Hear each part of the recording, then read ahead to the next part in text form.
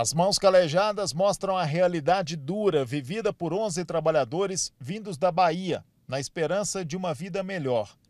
Banho era só assim, no córrego. O barraco de lona servia como casa nesta fazenda em Arenópolis, interior de Goiás. Aqui o grupo dormia e se alimentava. Esses trabalhadores laboravam na roçagem de pasto para fazendeiro da região e estavam abrigados em um barraco de lona em condições subhumanas totalmente precárias. Em Nova Crixás, outra denúncia de trabalho semelhante à escravidão. Cinco trabalhadores vivendo em condições degradantes. Às vezes estão aqui em condições bastante precárias. Colchão, uma espuma velha no chão, num quarto que não tem, tem nenhuma janela, né? tudo fechado. Aqui no chão tem umas embalagens de agrotóxicos, materiais aqui. Em Pontalina, outra ação do Ministério do Trabalho. 33 pessoas vindas do interior de São Paulo para trabalhar numa fazenda, sem nenhum tipo de registro e sem conforto algum para morar. Nós encontramos 33 trabalhadores, os quais estavam laborando na, na colheita de laranjas para um fazendeiro da região.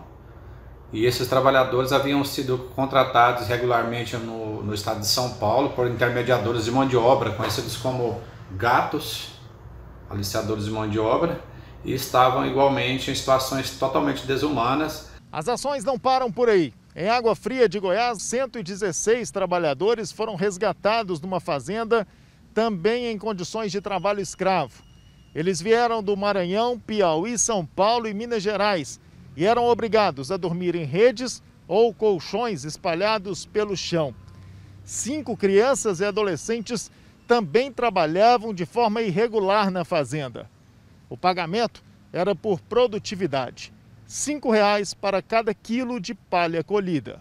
Elas vêm com uma promessa de ganhar melhor, de ter condições boas de trabalho, só que tem uma, uma duas, são duas características em comum. A miserabilidade, que as pessoas têm a falta de dinheiro, e a falta de estudos, porque a pessoa não tem conhecimento e é levada ao engano.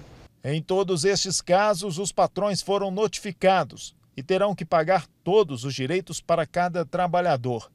Os empregadores que mantêm funcionários em condições de trabalho escravo ainda podem responder criminalmente.